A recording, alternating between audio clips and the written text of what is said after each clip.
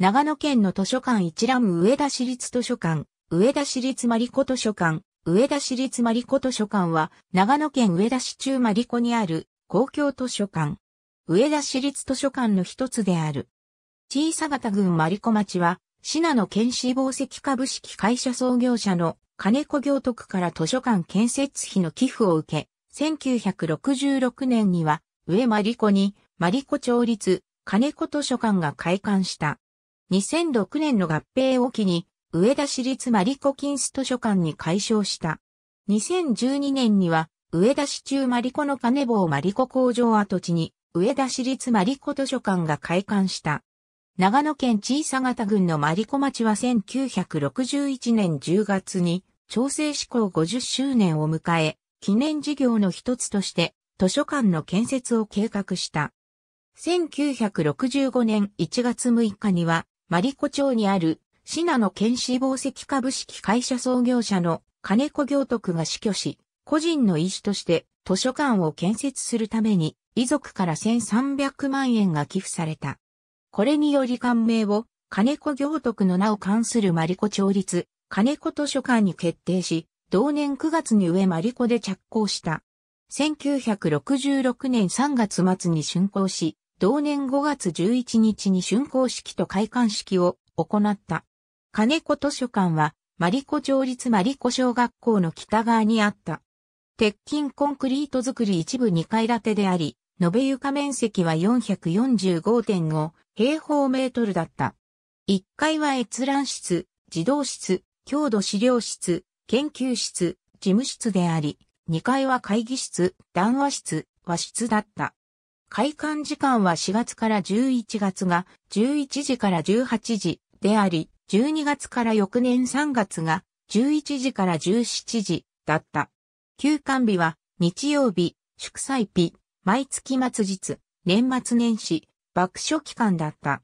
一冊まで10日間の考え貸し出しが可能とされたが、開館からしばらくは考え貸し出しを中止している。開館当初の蔵書数は約1700冊だったが、1966年度末の蔵書数は3112冊となり、1966年度の貸出数は5762冊だった。図書館開館前の1966年2月には、歴史学者の小林慶一郎を講師とする第1回近世文書講習会を開催しており、以後は年1回の頻度で開催した。1967年5月には PTA、母親文庫上小配本省マリコ分室を設置し、与田久保地区の配本の拠点とした。1968年11月には、金子図書館が事務局となって、マリコ資料研究会に編集を委託したマリコ町歴史年表が刊行された。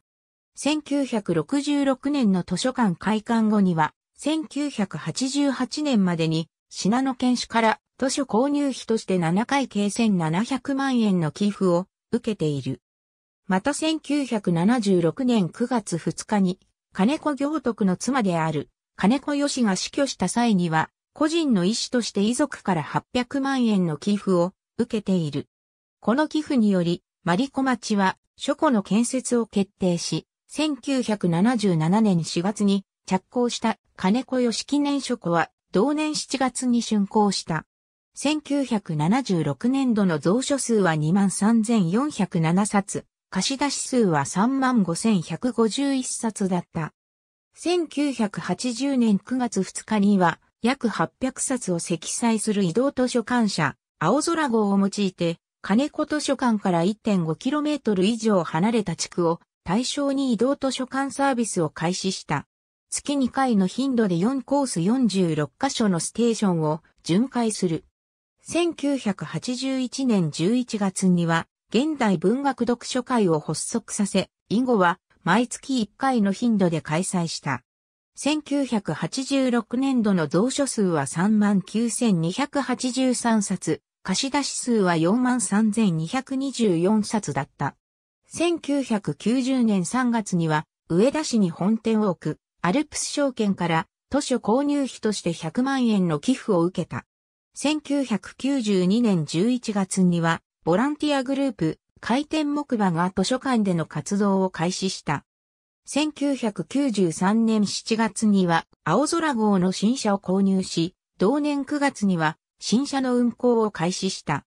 同年10月には医師の横山新兵衛の遺族から万葉集関連の書籍など約4000冊の寄贈を受け、金子図書館に横山文庫を設置した。また、同年10月には、マリコ町で長野県図書館大会と北信越学校図書館大会が開催されている。1994年度の蔵書数は65,751冊、貸出数は56,609冊だった。1995年には創立30周年記念行事を開催し、信濃県支社長の金子八郎を招いた記念式典、著作家の落合恵子の講演会、生命の感受性などが行われた。